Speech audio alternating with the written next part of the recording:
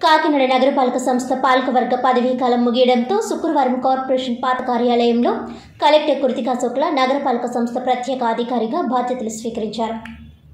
ఈ సందర్భంగా కాకినాడ నగరపాలక సంస్థ కమిషనర్ కె రమేష్ అదనపు commissioner CH Naganarasimharao deputy commissioner K Srinivas తదితరులు కలెక్టర్కు స్వాగతం పలికారు. బాధ్యతలు స్వీకరించిన అనంతరం కలెక్టర్ మాట్లాడుతూ కాకినాడ నగరపాలక సంస్థ ప్రత్యేక అధికారిగా పనిచేసే అవకాశం ఇచ్చినందుకు ప్రభుత్వానికి ధన్యవాదాలు తెలియజేస్తున్నట్లు తెలిపారు. పెండింగ్ అంశాలను త్వరితగతిన పరిష్కరించేందుకు కృషి చేయనున్నట్లు వివరించారు. ప్రజలు సీజనల్ వ్యాధుల బారిన పడకుండా ప్రత్యేక చర్యలు తీసుకుంటామని ఎప్పటికప్పుడు క్షేత్రస్థాయిలో పర్యటించి ప్రజా సమస్యల పరిష్కారానికి కృషి చేయనున్నట్లు తెలిపారు. నగరపాలక సంస్థకు సమర్థవంతులైన అధికార బృందం ఉందని ఈ బృందం సహకారంతో నగరపాలక సంస్థను అన్ని విధాలా ముందు వరుసలో నిలిపేందుకు మంచి పేరు తెచ్చేందుకు కృషి చేయనున్నట్లు కలెక్టర్ వెల్లడించారు. అనంతరం నగరపాలక సంస్థ రెవెన్యూ పట్టణ ప్రణాళిక నీటి సరఫరా ఆరోగ్య తదితర విభాగాల అధికారులతో సమావేశం నిర్వహించారు. విభాగాల వారీగా దృష్టి సారించాల్సిన ప్రధాన అంశాలపై మార్గనిర్దేశం చేశారు. త్వరలోనే విభాగాల వారీగా సమీక్షా సమావేశాలు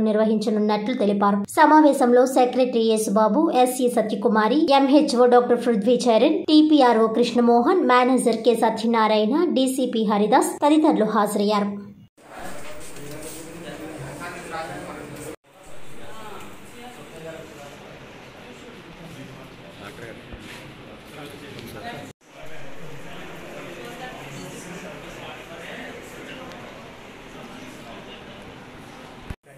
కాకినాడ మున్సిపల్ కార్పొరేషన్ స్పెషల్ ఆఫీసర్గా బాధ్యత తీసుకుంటున్నాను.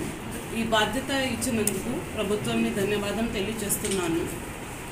కాకినాడ కార్పొరేషన్లో పరిధిలో ఉన్న పెండింగ్ ఇష్యూస్ త్వరగతిలో రిజాల్వ్ చేయడానికి ప్రయత్నం చేస్తాను. అదే కాకుండా ఈ పట్టణ వాసుల ఆశయాల మేరకు హౌసింగ్ మరియు శానిటేషన్ దాని మీద ఎక్కువ ఫోకస్ చేస్తాను.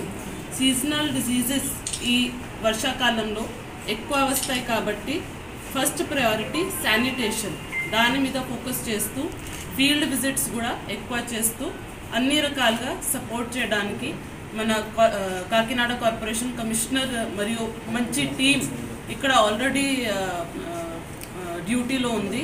వాళ్ళ సపోర్ట్తో కార్పొరేషన్కి మంచి పేరు తెచ్చుకోవడానికి ప్రయత్నం చేస్తాం